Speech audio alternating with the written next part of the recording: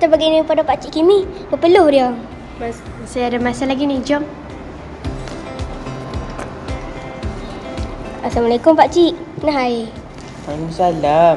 Terima kasih. Pak Cik minum nah. Ha.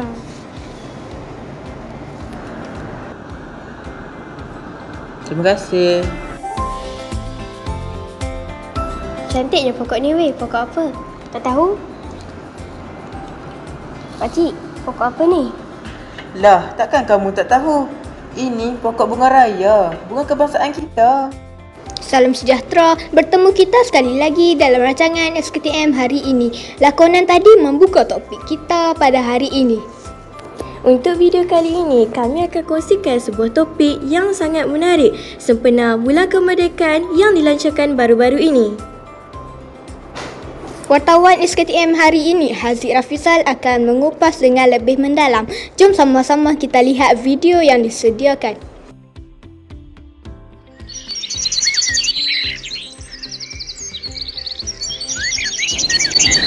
Saya dan kru SKTM hari ini akan mengupas dengan lebih lanjut tentang bunga yang diangkat sebagai bunga kebangsaan. Bunga raya juga dikenali sebagai bunga sepatu dan kembang sepatu. Ia adalah sejenis tumbuhan yang berbunga sepanjang tahun dalam genus hibiscus yang sering ditanam sebagai pokok hiasan. Pada tahun 1958, tujuh bunga telah dicadangkan sebagai bunga kebangsaan iaitu bunga tanjung, kenanga, mawar, cempaka, teratai dan melu.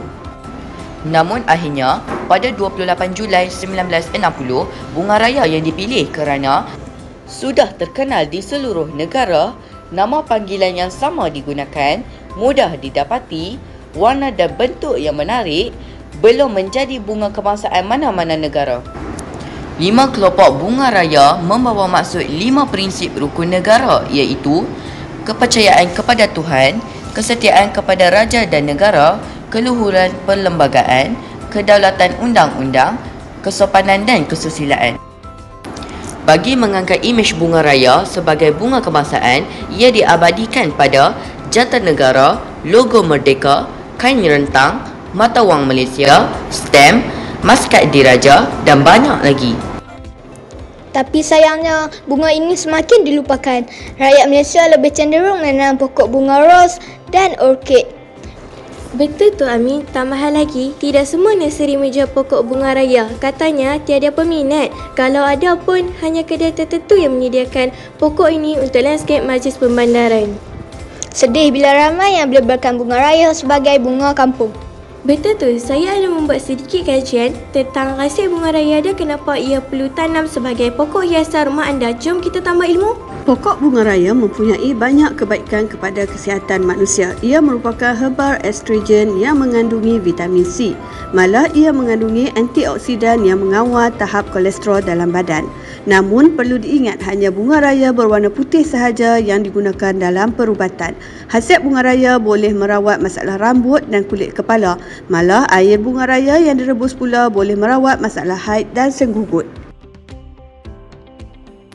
Kali ini juga kami bawakan tetamu istimewa iaitu saudara Akil yang merupakan salah seorang peserta pertandingan lagu kerohanian.